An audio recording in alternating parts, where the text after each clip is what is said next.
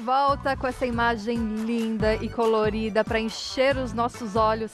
E quando você fizer aí na sua casa, para encher a nossa barriguinha com muita saúde, com muito sabor. E nós já estamos aqui preparadíssimas na cozinha, não é, Fernanda? Sim. Tá tudo certo aqui, tudo bonitinho. Tudo bonitinho. E é uma receita muito prática, pelo que você me contou, né, Fê? É, é uma receita rapidinha, Tá, é pro, pro dia a dia mesmo. pro dia a dia. Até a gente mudou para fazer no micro-ondas. Micro-ondas? Vamos usar o micro-ondas. Não acredito, que a gente maravilha. usa, tadinho, né? A gente Tadinho. resolveu. Estou vendo o micro-ondas ali tristinho. Eu acho que a gente vai Só estrear usa o praticamente. forno. Tá, então tá ótimo. Então, micro-ondas será usado hoje. Porque dá pra fazer rapidinho. Tem vezes, prático ainda mais que se a pessoa é, mora sozinha, só duas pessoas, você acender um forno, deixar um tempão lá e aí tem dois pimentõezinhos só, não tem porquê.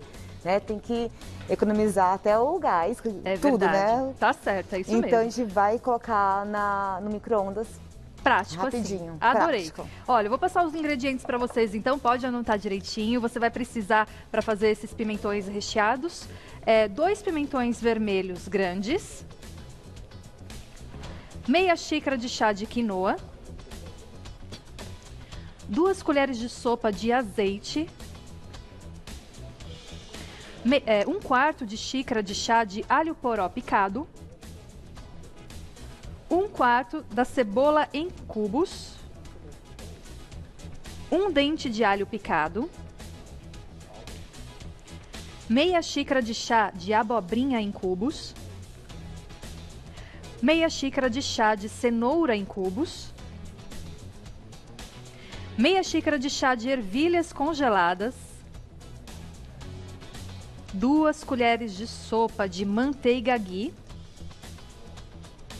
duas colheres de sopa também de salsinha picada, duas xícaras de chá de molho de tomate caseiro e sal, pimenta a gosto. É isso que precisamos. Isso. E começamos por onde, Fernanda? Pelo pimentão. Pimentão mesmo. Eu coloquei pimentão grande pra gente dividir. Geralmente são grandes, né? Se dividir no comprimento, mas eu fui comprar e era piquititico. É Achei tão verdade, tá bem pequenininho. Eu até perguntei, será que é um pimentão mini? Não, É. ele é um Ó, pimentão normal, mas ele veio bem pequenininho, uma então a graça. gente vai usar ele de outra forma, a gente Tá. vai usar ele cortando em cima. Então, A se forem tampinha. pequenininhos, então são quatro ou dois grandões, né? No caso de ser grande, aí eu corto a tampinha também ou eu não, faço não. um corte diferente? Você só pega no comprimento. Ah, no ele. comprimento Isso, você faz pega, tipo vira uma assim, barquinha. isso. Tá, Duas canoinhas vão sair. duas canoinhas. Aí você vai cortar na, em cima e pegar e ocar. Tirar Tá. a sementinha, lavou, esse já tá. A gente vai fazer o quê? Pegar uma agulha É. e vai furar o- todo o pimentão. Pra quê? Pra ele conseguir é, cozinhar e não estourar a casca. Às vezes faz umas bolhas ah, na é casca. Então a gente vai fazer todo o furinho. É melhor com a agulha porque não é mais delicadinho. Agora, Tá. se você quiser com a ponta da faca ou com garfo, dá pra fazer, mas vai ficar mais grosseiro, vai ficar uns buracão. É, com a agulha, na verdade, você nem percebe que tem É, um furinho, então, ó, né? fica uma. Legal, gostei dessa técnica. Muito Então, bacana. A gente vai dar uma lavadinha no pimentão. Certo. Tá. Você tirou toda a sementinha dele, né? Isso. E o pimentão é, amarelo, você usou amarelo. Na mesa a gente tem o vermelho também. E o verde, pode usar? Pode usar. Eu não costumo usar muito porque ele é mais indigesto. Tá. Então, tem gente que não consegue realmente com o pimentão processar. O vermelho e o amarelo são mais Mas se quiser, às vezes vai no mercado, só tem o Pode, verde, ou até né? Pode trazer fazer os três também, vai ficar lindo. O Boa. verde, o vermelho e o amarelo. É, vai ficar bem muito mais bonito. colorido ainda, É. legal. Então a gente vai fazer o quê? A gente vai pegar o molho de tomate, esse molho caseiro de preferência. É um molho tradicional? Você colo- Isso. fez como? Eu faço, tem até outras vezes que eu já fiz aqui, que é cebola, azeite, alho, aí o tomate é, sem a casca, Tá. processado, e depois põe manjericão, põe o orégano, salzinho. Então assim, é Simples. bem caseirinho. Tá. É aquele molho que você pode até deixar congelado, né? Ai, pra quando precisa. sempre tem é em casa. prático. E ele vai cozinhar no molho. Então a gente vai colocar esses dois. Ah, você vai primeiro pôr no micro-ondas, depois Isso. então. Hum.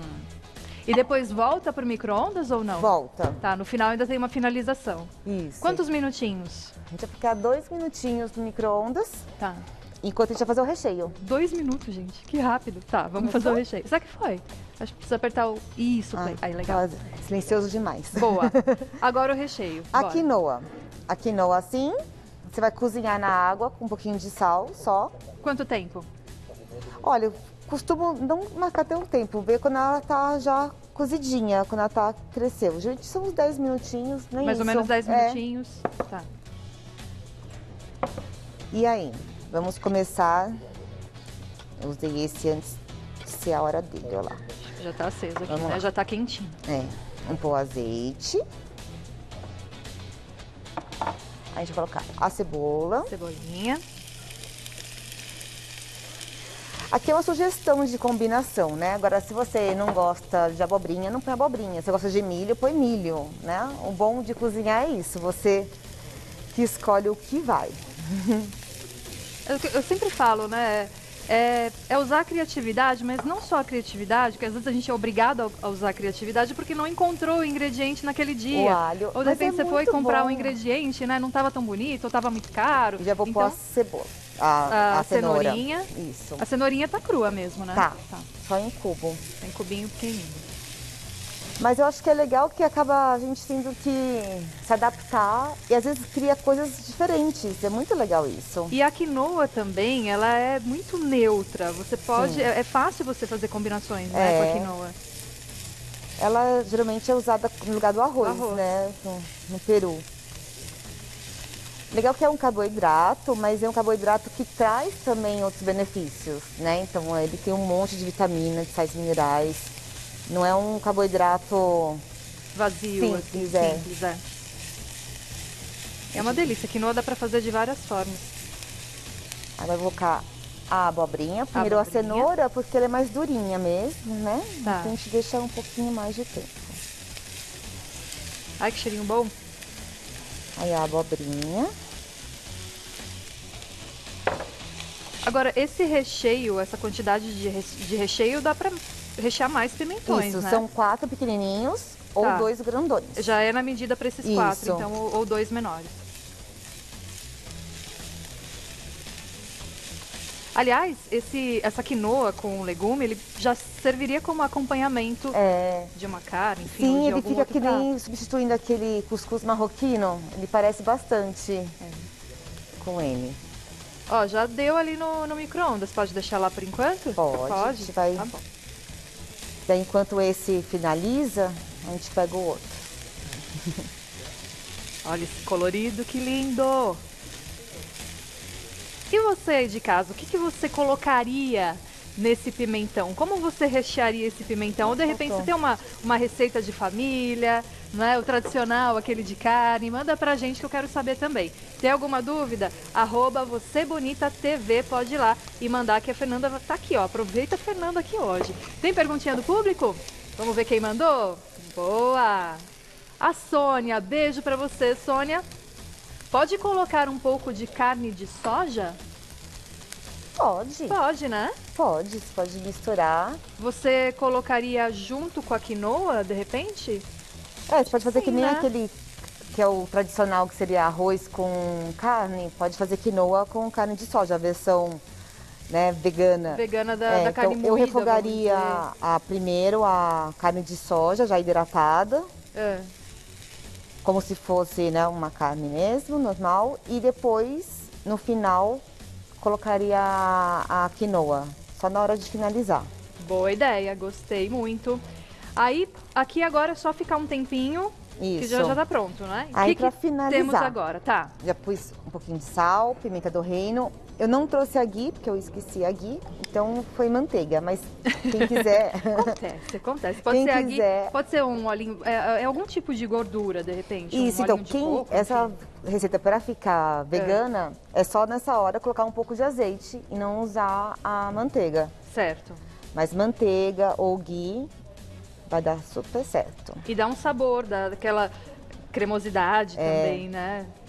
Que ele vira quase um, um risoto, né? É verdade, vira Nem quase você falou, um, um pra- risoto. como acompanhamento de alguma coisa, também ele tá pronto. Tá lindo demais. Arrasou. Agora é hora de rechear os pimentões? Sim. É isso? É. Gente, eu tô chocada. Muito fácil, não é? Fácil e rápido. Você arrasou nessa receita. Principalmente na sexta-feira, né? Poxa, hoje, hoje é a Black Friday. tá todo mundo querendo comprar. Falei, não vou ficar tanto tempo na cozinha fazendo uma comida, né? É. Faz essa, é rápido, aí todo você dia que você tem. o dia. É. Porque esse final de semana você quer cozinhar. No dia de semana Isso. você tem que resolver. É isso. A gente vai pegar e. e... Esse aqui vai dar certo. Aí como recheia? Pouquinho? Não, aí recheia É, vai completar. até a boca, pelo amor de Deus, né? Ui, Ai, que vazou. delícia. Será que o pessoal de casa tá com água na boca, assim como eu aqui? Eu acho que tá, hein? Tô desconfiada. Assim é bem gostoso. E fica bonito, né? Também a gente ia colocar, mas tá, ficou tão bonito ele assim que a gente tirou o queijo. Você pode, mas é uma delícia. Pega a mussarela queijo? e É. põe um pouquinho no micro-ondas de novo. Tá. Então, Dá pra congelar? Que não Olha, congela? Eu nunca congelei. congela. quinoa. Eu tô pensando no pimentão, mas acho que dá certo sim. Vamos tentar. Acho que É, dar pra tentar. Uma tentativa, né? Se o pimentão vai ficar inteirinho. De repente congelar antes de, de finalizar, né? É, pra congelar ele não pode estar cru. Senão não dá ah, certo. não pode estar cru. Isso. Entendi. Gente, Tem mais perguntinha? Tem! Bora pra perguntinha da Joana. Um beijo pra você. Tem alguma dica para o pimentão não ficar indigesto?